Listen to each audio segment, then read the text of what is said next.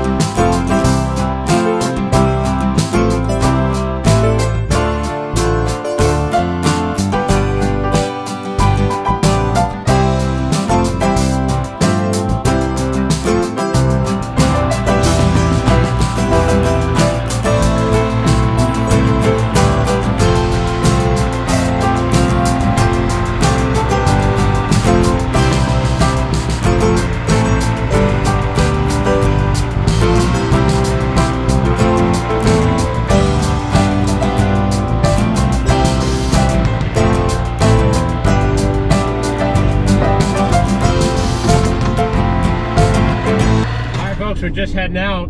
I got free dirt and a free beer. Not bad. I ended up staying for a couple hours. Um, they're good family friends of ours. But anyways, um, this is some good stuff. You can see in the corner of the frame there. This is good dirt. It's perfectly colored.